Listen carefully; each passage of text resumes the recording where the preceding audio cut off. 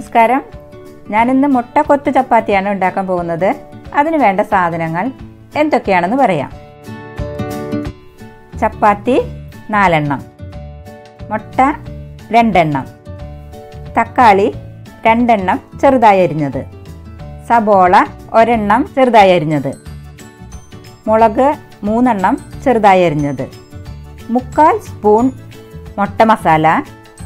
മുക്കാൽ spoon chicken masala ഇഞ്ചി ചെറുതായി അരിഞ്ഞത് പെരിഞ്ജീരകം കാൽ സ്പൂൺ കാൽ സ്പൂൺ മുളക് പൊടി കാൽ സ്പൂൺ മല്ലിപ്പൊടി കാൽ സ്പൂൺ മഞ്ഞൾപ്പൊടി ഉപ്പ് പാകത്തിന് വെളിച്ചെണ്ണ ആവശ്യത്തിന്.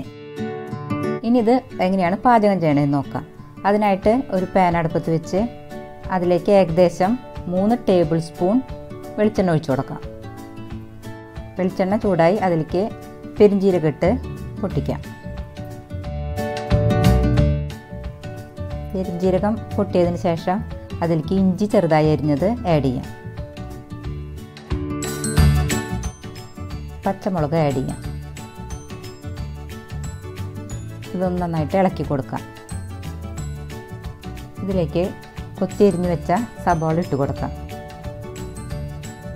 ഇതിന് ഇതെല്ലാം നന്നായിട്ട് ബ്രൗൺ കളറൊന്നും ആവണ്ട. പച്ചമണം ജസ്റ്റ് ഒന്ന് മാറിയാൽ മതി. ഇനി ഇത് വേഗം ഒന്ന് വഴണ്ട് കിട്ടാനായിട്ട് അര സ്പൂൺ ഉപ്പ് പൊടി ഇട്ട് കൊടുക്കാം. ഇനി നന്നായിട്ടൊന്ന് മിക്സ് ചെയ്യാം. അപ്പോൾ അതിന്റെ പച്ചമണമൊക്കെ മാറി വന്നിട്ട് തുടങ്ങിയിട്ടുണ്ട്. അതിലേക്ക് മഞ്ഞൾപ്പൊടി ഇട്ട് കൊടുക്കാം. അതൊന്ന് മിക്സ് ചെയ്യാം.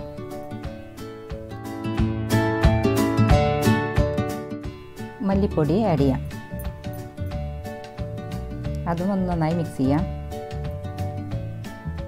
അതിനുശേഷം മുളക് പൊടി ആഡ് ചെയ്യാം. ഇതെല്ലാം കൂടെ ഒന്ന് പച്ചമണം മാറണ വരയ്ക്ക് ഒന്ന് ഇളക്കി കൊടുക്കാം.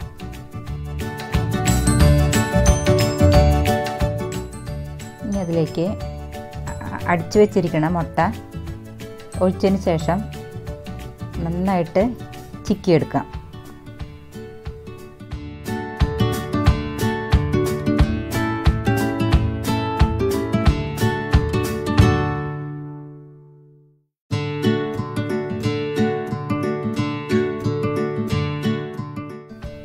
മുട്ട റെഡി ആയിട്ടുണ്ട്. ഇതിലേക്ക് തക്കാളി ആഡ് ചെയ്യാം. തക്കാളി ഒന്ന് ഇതിൽ കിടന്നിട്ട് ഒന്ന് വഴണ്ടി വരണം. അതുകൊണ്ട് നമുക്ക് നന്നായിട്ടൊന്ന് ഇളക്കി കൊടുക്കാം.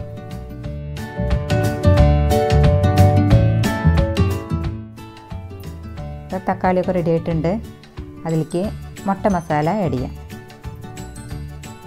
അതൊന്ന് ഇളക്കി കൊടുത്തതിന് ശേഷം ഇതിലേക്ക് ചിക്കൻ മസാല ആഡ് ചെയ്യാം.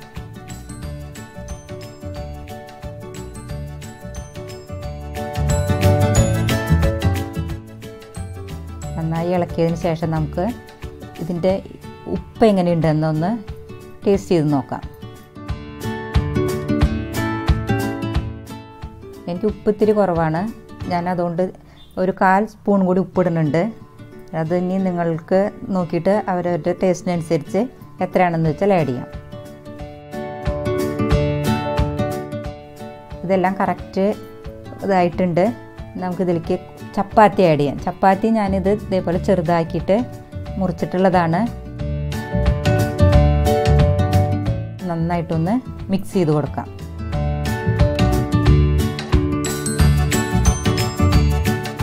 മുട്ട കൊത്തി ചപ്പാത്തി ഏകദേശം റെഡി ആയിട്ടുണ്ട്. ഇനി നമുക്കിത് മൂടി വെച്ച് മൂന്ന് മിനിറ്റ് കഴിഞ്ഞതിന് ശേഷം തുറന്ന് സെർവിങ് ഡിഷിലേക്ക് പകർത്താം.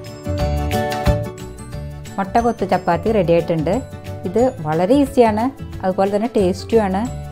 എല്ലാവർക്കും ഇഷ്ടപ്പെടും. എല്ലാവരും ട്രൈ ചെയ്യുക. നന്ദി നമസ്കാരം.